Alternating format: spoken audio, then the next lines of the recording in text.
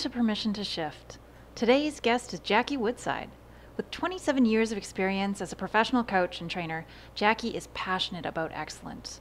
Most specifically, she's passionate about the consciousness that creates excellence. She's written over 20 training curriculums for coaches to deliver to their clients and for leadership training. She's a certified professional coach, three time best selling author, TEDx speaker, radio and television personality, and seminar leader. Jackie is passionate about expanding the edge of human potential, and she's a financial vibration wizard, helping people shift their money vibration and change their financial lives. She's the founder of the Curriculum for Conscious Living, the Conscious Living Summit, and she's a licensed psychotherapist with 30 years' experience in both fields. It's my pleasure and my honor to welcome Jackie to the show today. Well, it is awesome to have you here today, Jackie. Thank you so much for joining me for the interview. Oh, there, you know, I have to say, there's like very few things I would rather be doing than spending the afternoon with you. I love your work. I love your energy. I love your vibe. So thank you for having me. Thank you for just doing, you know, creating this space. I'm so excited about your YouTube channel because I know you are a person who's out there raising the vibe on the planet, and that speaks right to my heart. Thank you so much. That's such a generous way to begin your interview. No, no, it's all you, baby. It's all you. well, let's talk to the audience. For the people out there who don't know who you are and what it is you do and what Money Vibe is, can you give us a little bit of, of overview of how you got where you are and, and what you did? Sure, sure. I call that the who the hell is Jackie Woodside and why should I care factor. Yeah, yeah, that's pretty much it. That's uh, fantastic yeah right. So yeah so i've written uh, three books and just contributed the, uh, a fourth a compilation book that became a usa today best-selling uh, book. So i'm a usa today best-selling author. I've got an article coming out about that tomorrow so i'm excited oh, about that. I do amazing. yeah yeah i'm excited about it. Um anyway so a little bit about me. Um you know people ask me all the time like jackie how did you how did you get into this? And how did you get into writing about time and money and, and all of these things that you're into and vibration? Um, so let's just say i didn't pop out like this. Um, um, i didn't pop out thinking about my vibe and consciousness. And in fact you know why i'm so passionate about being a consciousness teacher about money and time and life is because it's what saved my life. I don't know how else to say it. I'd just be straight up you know? So um, know, I had the family life that I had, but but my mom was widowed when I was really young, and she kind of managed that as best she could by working a lot of hours and drinking a lot of alcohol and taking her anger out on uh, on us. And so it was it was a ride, and I um you know I I thrived quite honestly. I was very involved in uh, athletics and sports and Catholic youth ministry, and I just had a I just got out. You know, I just did what I needed to do. Played sports all through college. So I, I my professional background actually is as a clinical social worker, and I think I went into that field. I was a psychotherapist and a clinical manager for many years in a lot of different places. I think I needed to kind of heal myself and do mm-hmm. my own healing journey. And and then you know 30 years of being a psychotherapist, I was pretty much done. I also was a coach for 30 years. Um, got into the coaching field later, about five years into after being a psychotherapist. I was an old school coach. I was trained by Coach U early on, um, and then IPEC later. So I've done two different coach certification programs, and I love the coaching field. So about ten years ago, I just said, I you know, I, it actually wasn't that simple. I'd felt a calling for many years. I had written a mission statement ten years prior that I was too afraid to activate on. And the mission statement was it was it was just the very essence of who I am, like the at a soul level. And it came to me, and I was doing a program at Landmark Education, and it came to me. And it's I'm a torchbearer for a vision of a world transformed, illuminating freedom, fulfillment, and passion, igniting the flame of infinite possibility for the human spirit. So that's my mission. That's who I am. That's who I came here to be. And I couldn't do anything with it. So I didn't tell anybody for like 10 years that, uh, that this was my mission and this is who I came here to be. I would, and nobody would have like watched the movie and been like, that Jackie, she's playing small. She's afraid. But I was, I was afraid to step into the power of that mission statement. So um, I was sitting in a church service one day after this 10 years of uh, what am I going to do? And I'm too afraid and I'm not sure and all of that. Was sitting in a, a Unity church service in Amesbury, Massachusetts with a little sprite of a minister who was up delivering a powerful message. And she spoke from the Gnostic Gospel of Thomas. And she said, if the quote was, if what if if what you have within you comes through you, it will save you. And if what is within you does not come through you, it will destroy you. And I was like, oh, wow, that's what's happening to me. Mm-hmm. Depression, the addiction, my life kind of spiraling downward. So it wasn't like destroying me, like I'm going to go, you know, get cancer or put a bullet through my head, but ontologically and the very core of my being, I was being destroyed from the inside out. And I knew, like, I just, you know, when you get that visceral knowing, I just knew. Yeah. Right. So within a few months of that, I wrote my second empowerment program. My first empowerment program was my work around time, which I then called energy management and now called calming the chaos. But I so I wrote my second coaching program, which was called Life Design. And it was very funny. I was in bed one night, it was November, maybe October of um, 2008. And I got this whole download before I went to sleep that night of like the steps and the formula, the same thing I still teach today. I got it in 2008. And, um, and then I was laying in bed like, oh, man, I'm so excited. I love this. Oh, what am I going to call it? What am I going to call it? It's like, oh, Life Design 09. That rhymes and that was it. So I launched it in January of 2009, the Life Design course, and I've been teaching it ever since. And I now have about I don't know 30 or 40 coaches from around the world who teach it as well. And um, so I yeah, that's a little bit of my path, my journey around life. Oh, and then money, right? So then right, so I love this like time, and then I wrote the course on life.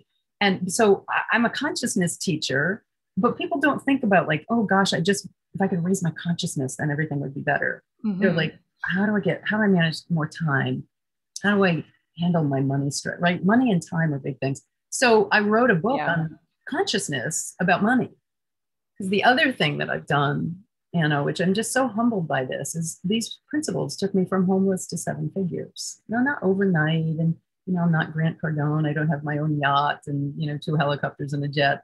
Not that, but yet seven figures. Yeah. Yeah. I mean, I don't know that I claim that for myself, but um, you know, but I do claim abundance and prosperity and generosity and and uh, success. I claim that for myself. And the more I become a clear channel for life occurring through and as me, the more I have that experience. So, time, life, money, um, conscious living uh, around time, money, and life is really the body of my work. So, if people are held up in any of those areas, I, you know, the other thing I say about my work is I'm an activator. Mm. I'm an activator because I'm more of an ass kicker than a hand holder. So when people really want to get activated, like they're like, okay, no, really, I really don't want to live this way any longer. I'm a really good coach for that. And I'm not an ass, like not like just kicking people's butt, you know, but so I have compassion, ruthless compassion sometimes. Ooh, ruthless compassion. I love that. Yeah, that's a distinction from landmark education called ruthless compassion, meaning that you come at this just with an open heart and all kinds of empathy for the experience that people are having, and you know, uh, a really strong stand, holding the highest bar for people to step into their greatness. The experience people are having. Let's talk about that because okay. people and their experience they're having with money, a lot of them it's not great and yet they're bound and determined to continue holding on to the not great experience. I, you know, I think people don't know that there's an option. I, I really do think people end up, you know, through experiences in life feeling so um, disempowered. They just don't know that if they begin living life from the inside out rather than the outside in, that they will develop that sense of clarity and power and creative ability to be able to go create what it is they want in life. So my so the work that I try to do with people that I do do with people is helping people again, this, this phrase live from the inside out, knowing who they are, what their purpose is, you know, why they're here, who they are, what they value, what their contribution in life is, where they're going, and how they're going to get there. um, mm. Whether at, that's with you know life in general, their career, time, and money. I, I, you know, awakening is really important to me. So to me, you can't separate personal development and spiritual development. They're one and the same. So yeah, some of my work is just you know in businesses doing leadership, you know, training and development helping people understand what transformational leadership is, leading from the inside out. Mm-hmm. And then some of my work is with individuals, you know, helping them design their life from the inside out, creating the experience that they want to have based on who they came here to be. So that sense of people getting disempowered about life, honestly, I think it's because they don't know who they don't know who they are and they don't know how powerful they are. So they end up living what I call a default life they live a default life. It's like the good and nice, and it's not a bad life. You know lots of really successful people out there just doing the next thing. I got the education, and, and you know, you know, I got the spouse, and and then I got the divorce, and you know, I bought the house, and I got another spouse. You know, we kind of go through these steps in life that are prescribed for us, and then at some point, people wake up and like, whose life is this anyway? Who am I? What am I doing here? Mm-hmm. And those are the places that I help people design their life from the inside out around time, around money, and life itself. But what's the what's the connection for someone who's listening to this going, yeah, okay, so I agree with all that, but what does this have to do with money vibe and how does it all connect in the middle? Yeah, so it's a great question because all everything that I just said relates to the vibratory pattern that you're living in. So when you're living your life from the outside in, like, oh, I got to get more money, and oh, that that was a bad decision, and oh, that all these externals, what you're creating. And again, I need to back up and say a little bit about this. Your vibration, the vibratory pattern that you live in, and this is science, not hairy fairy like philosophy or anything. If we hook you and I up to an, an EEG, put electrodes on our head, and I meditate and go into a peaceful state, and you watch a violent video game, our brainwave energy is going to be doing different things. Okay. So mm-hmm. if you're walking around stressed, anxious, you know, uh, uncertain about the future, just feeling all of this pressure, you create an energetic vortex around you that, if you will, repels your financial good from you from you. And if you live in this state of sufficiency and belief and and just knowing that life is unfolding for you, not to you, life is benevolent, and therefore I am the benefactor of life's benevolence, then you have a completely different experience. I say you connect at a different level of the vibratory pattern of life itself. Have you ever noticed? I mean, this is actually social science research. Your net worth will be the sum total of the average net worth of the seven people that you spend the most time with. Right? So there's like attracts like. So you will be like the people that uh, that have the same vibe that you have. So one of the best ways of really just bringing more money into your life is paying attention to what is my vibe, meaning am I feeling, you know, resigned and apathetic and just, you know, that's the lowest level of consciousness. I call it survival consciousness, mm-hmm. which is like, you know what? Life is hard and just screw it. It's just too much. I can't be bothered. I'm just going to another day, another dollar golden handcuffs, right? I've got a good enough mm-hmm. job. It's fine. That's what I call survival consciousness. And then when people grow out of that and get a little more energized, then unfortunately they move into what's called stress consciousness, which is still life is hard, but damn it, I'm going to do something about it. I got to get the job. I'm going to get the promotion. I'm going to get the extra education. I'm going to take that workshop. And there's this sense of, you know, anxiety and drivenness, and it's, you know, chaotic and pressure and anger that it's not going in a, a better way much more activated than the lower survival consciousness, which is like, ah, it's too hard, screw it. In the higher level stress consciousness, it's like, yeah, nah, it's hard, but I'm going to dive in. But it's still life is hard, right? Mm-hmm. So you create more, you have more attracted to you because you're putting out more energy in that level of consciousness. But it's exhausting, man. It's mm. exhausting, right? So then, as you grow in consciousness, you listen to a webinar like this, or uh, you know, you go to a church service that inspires you, or you go get sober through AA or 12 step. You do some work on yourself. You start living from the inside out, right? Then you can move into what I call transformation consciousness, where you're like, you know what, life just is. And you're clear about who you are and you're more optimistic about life itself. You your beliefs about life are a higher vibration, like life is always unfolding for my good. So when you move into these higher realms of consciousness, you think differently, you believe differently, therefore you act differently, therefore you create different outcomes, and you attract different kinds of people. You attract different people into your life. Have you ever noticed the kinds of people that might go to a, you know, uh, the CPAC was just this week, um, Conservative Political Action Committee, uh, or that might go to a, a rally supporting Donald Trump, all have the same kinds of thought patterns, belief patterns, the way they perceive the world are all very similar. And then I don't know, somebody who might go to you know, the New York Museum of Art would probably, you know, if you gathered all those people, they would probably have similar values around, you know, art and aesthetic and, and, and caring about that kind of approach to life. You're, you, you put yourself in the vibration that you are. And then you attract into your life people have who have similar vibratory pattern. So, just to give a concrete example of this, years ago, I was a mental health consultant and psychotherapist.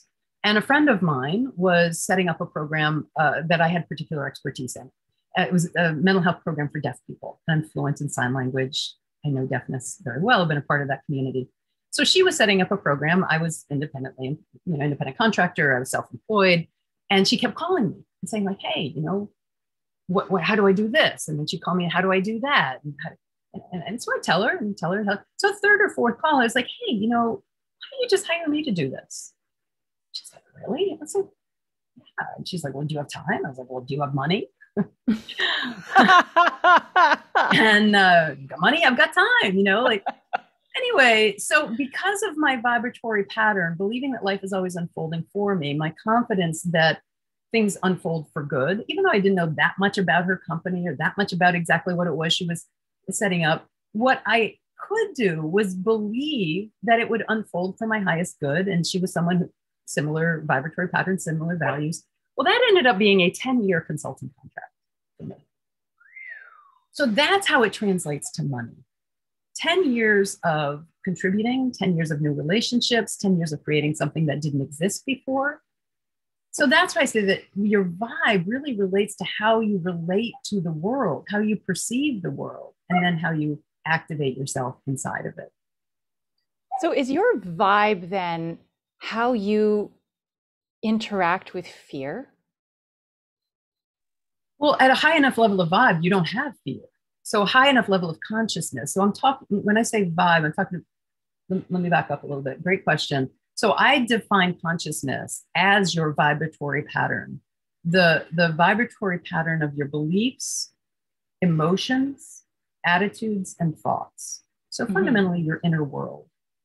So if I have a belief that life is hard and I've got to kick and scream and make things happen for myself, and that life is not hospitable, life is not benevolent, it's just life is hard then I am likely to have the experience of fear moving into something new or thinking about taking a new, making a, a risk, taking a risk, moving down a new avenue. Very likely, if I have a fundamental belief that life is hard, I will experience fear in that, fearfulness. Mm-hmm. If I have a belief that life is benevolent, then I'll be like, woohoo, you know, let's go. Because no matter what, I'm going to succeed or fail, but things are going to turn out in a way that's positive and a blessing and a benevolent, whether I succeed or fail. So the fear, now, sure, maybe I feel anxious getting up on stage or, you know, maybe taking on a new thing. I might feel that fear. But this is one of the things I say about the benefit of my work you're no longer, when you raise in consciousness and start living from the inside out, you are no longer given just by pure emotion.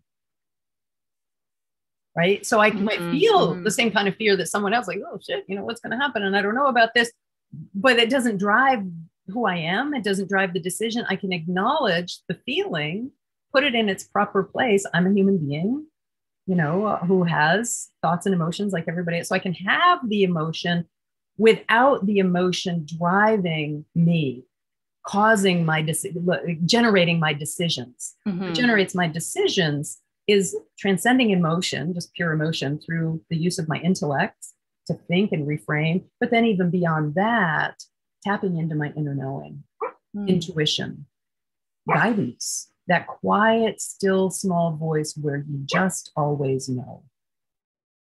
What would you advise for somebody who's they're listening to this and they're going, Yes, I'm going to go for it. I'm going to raise my vibe. I'm going to start believing and walking into that belief, even if I don't fully believe it yet, I'm going to start acting differently so I can start training myself to feel differently. And inevitably, you're going to hit some walls and you're going to not get through. How do you, what do you advise people to do to stop themselves from not moving? Boy, it's a compli- you know, it's it's a complicated answer. So it's not a three quick steps. So the first thing I would say is pay attention to the quality of your inner world. And one of the best ways of doing that is to become a meditator. And you know, people are like, oh, you know, I tried that before, it didn't work. And I say, well, what do you mean it didn't work? And they're like, well, I tried to meditate, but my mind kept, you know, going off. I'm like, that is meditation. and you bring yourself back to your breath or to your mantra or and then your mind goes out. Like that is meditation right? So anyway so being super super you cannot do any of what i've talked about without this one quality of self-awareness. You cannot raise your consciousness without being self-aware. There i said it right? So a lot of spiritual teachers and consciousness teachers say that awareness and consciousness are the same thing i say they are not mm. So I teach in, in my philosophy, my approach, that your awareness is your access to be able to observe the level of consciousness that you are living in. So, so you have awareness of your vibratory pattern, of your belief, of the emotion, of the thought. So, like right now, I'm here, I'm aware that I'm excited and enthusiastic to talk to you. I'm aware that I'm a little concerned that my dog keeps barking outside. I'm aware of that. But because I'm aware of it, I can move into the flow of the energy and enthusiasm that I feel having this conversation while simultaneously setting aside, not responding to the angst that I might feel about my dog. So I'm aware of both things. And then, and this again, a very sophisticated concept, use your mind to train your brain, right? Through awareness of, okay, you know, my thought's fine. You're being able to observe that thought and then direct my brain of how I'm going to respond to it based on using your mind. Again, some teachers use those words simultaneously, or um, what's that word? This, to be the same thing. And they're not the same thing, synonymously. That's the word.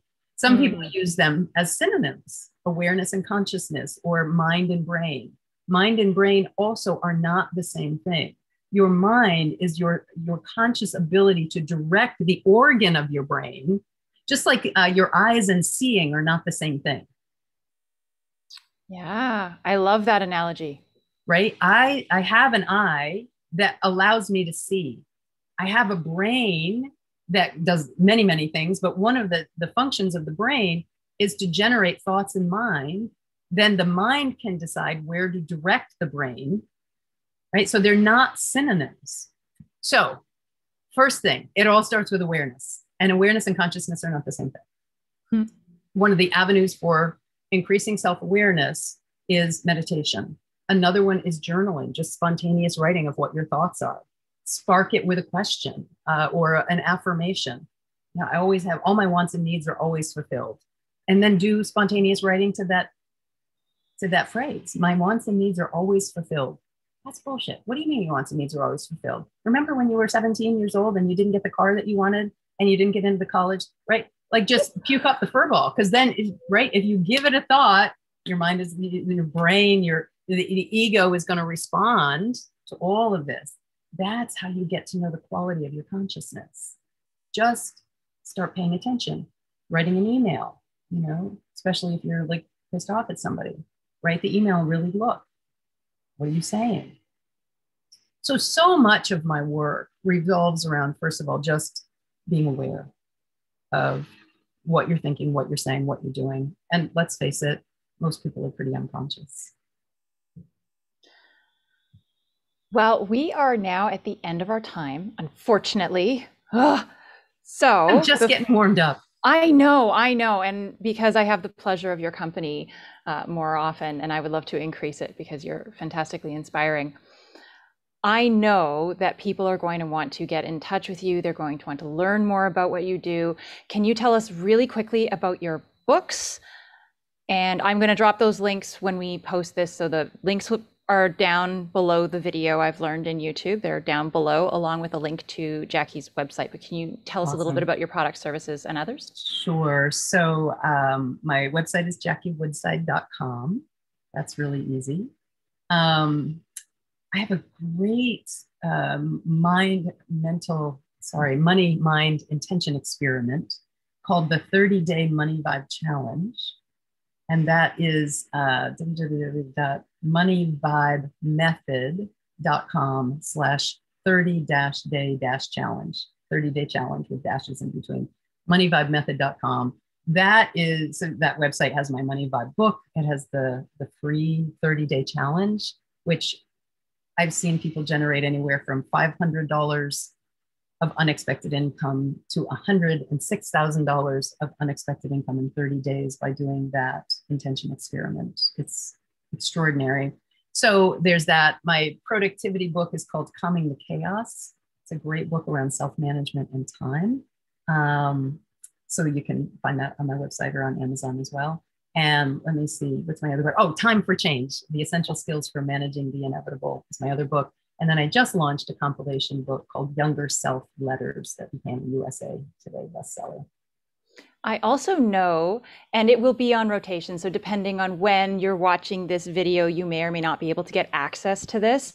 But you run a six month masterclass and you people in it have personal access to you. Can you tell us quickly about that? Yeah, sure. So the the six month Money Vibe Mastermind group is a small personal intense group uh, focusing on what is our money vibe, elevating our money vibe, and setting an intention every month for how much unexpected income we plan to bring into our lives. And it's it involves both uh, coaching, meditation practices. So coaching to kind of deal with your blocks and levels of belief, and no, this can't happen to me. That kind of you know coaching with people, uh, group and individual, and um, practices, spiritual practices, uh, consciousness practices, writing exercises. So for six months, and it, you know, it's just going to be a game changer for people. If you are like hands down, I'm going to bring more money into my life. That's a place that you want to be. So the Money Vibe Mastermind, and that is on my website, jackiewoodside.com slash coaching programs or something. If you look for coaching programs, it's on my website. And for anyone out there who's watching this, and I'm I know I don't normally do this, but I cannot express enough.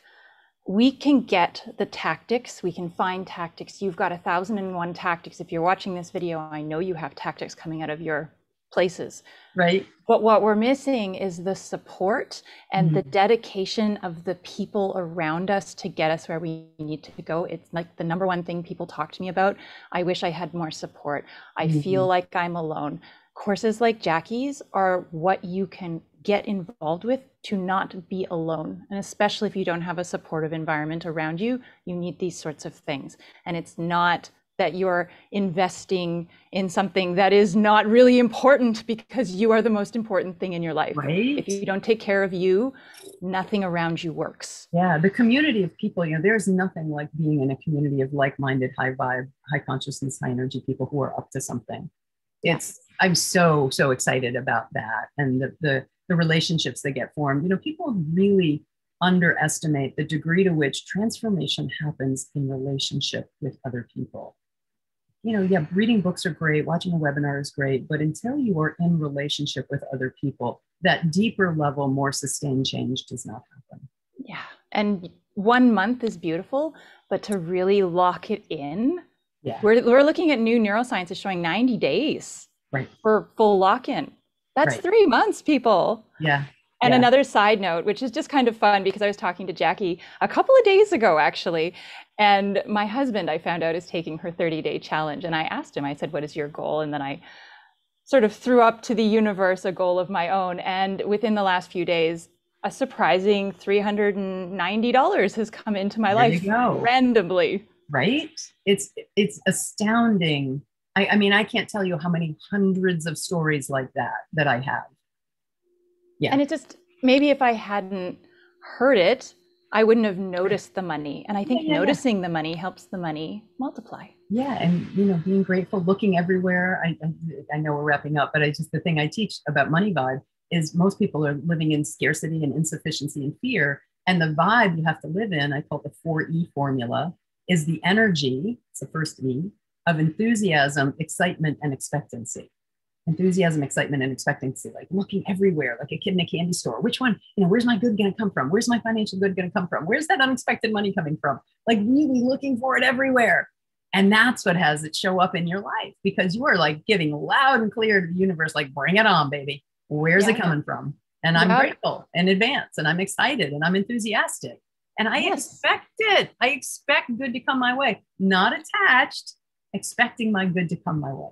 And grateful when you see the dime, not saying that's not enough. That's right. the I've wrong taken pictures. That's right. I've taken pictures of a coin on the on the road when I'm doing the challenges. I'll take a picture of the coin on the road, say, for this too, I am grateful, put it in my pocket and keep going.